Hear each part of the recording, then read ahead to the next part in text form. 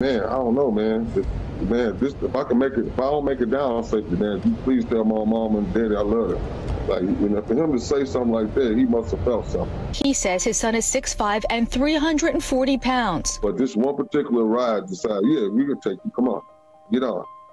You know, when nobody else allowed him to get on the rides. So I wonder what happened between now and then that made him say, come on, you can get on this ride.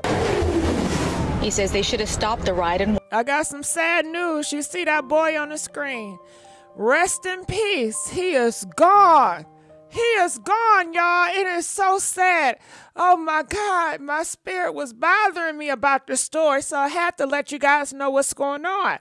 This happened in Orlando, and uh, it's all over the news, child, all over the news. We're going to look at the news coverage about this 14 year old boy, and he should not be gone, you know? Um, so let me tell you what happened. Uh, they say he's real tall, six something, and you know, he got some pounds on him. He's 14 years old. He went to the theme park, wanted to get on the rides. Nobody would not let him on because you have to have a certain height and weight uh, requirement to get on these rides. So he goes to this ride. I don't know what name it is. It goes, it shoots you up and it shoots you down. And I guess the person was trying to be cool. And that's why it's important to follow the rules. He was trying to be cool. He said, Go ahead, man. Go ahead. Don't worry about it. Don't worry about it. Go ahead. Girl. He got on that ride. It shot up. And he looked over his friend and he said, I, I don't feel right. Something loose. And he said, Please tell my mom and my daddy I love them. Girl, the video all over the internet. I ain't gonna play it here, but it's uh, it's out there. You know, all you gotta do is Google it. That's what I did. As the ride goes down, it's dropping down. Why? You see his body drop out the roller coaster and fall. You hear too. You hear it hit right on the cement, girl. All you hear screaming and hollering. Child, it's all on the internet. Some people feel like it's a sacrifice. You know how people is. Some people say, oh my goodness, how everybody was screaming. And then they heard some laughs. I don't know what people was laughing about. They said it sounded like demons in the video. I don't know, child. But um, his father and his family is speaking out. And I want to know what y'all think about this. Tallest freestanding drop tower in the world at 430 feet tall. It can hold 30 riders at once. When they get to the top of the tower, riders are tilted forward 30 degrees toward the ground.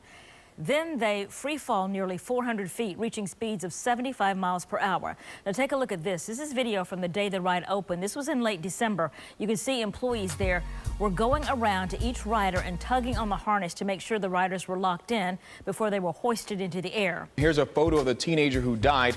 Tyree Sampson was visiting Orlando with his family. They are from Missouri. Sheriff says it's unclear how Sampson fell out of his seat.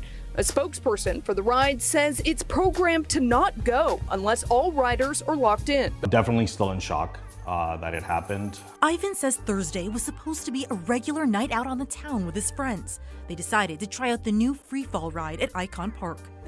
430 feet. That's great. Coming down 75 miles per hour. Ivan says he had his cell phone out to record his friend's reaction after the drop, not even realizing what his video ended up capturing. We're freezing the video here, choosing not to show the moment 14 year old Tyree Sampson falls. When I heard that he was 14 years old, my heart sank.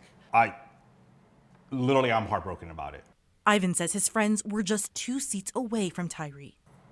This could have been one of my friends that it happened to. It's not what you would expect from a, a ride in the heart of Orlando. You know, it, we're known for our amusement parks, for our, our thrill rides. It's still under investigation how the boy fell, according to the sheriff's office. Were there any red flags? Right from the beginning. In Ivan's video, you can see one of his friends question the ride restraints. Why does this have like the little clicky click, like the seatbelt? Yeah. They were asking if they had that additional seatbelt. Uh, you know, in most rides, you have your harness that pulls down on you, but you also have the additional secondary seatbelt. But this doesn't have that. This does not have that. Hmm. It's really concerning especially being a brand new ride, not to have that. It was concerning to me, and me not even being on the ride, it was extremely concerning. About 30 seconds after Tyree falls, ride employees ask each other about the harness. Did you check it? Yeah, the The light was on. You guys are sure you checked it? Ivan says his prayers go out to Tyree's family. The reason why I posted the video is to highlight those safety concerns.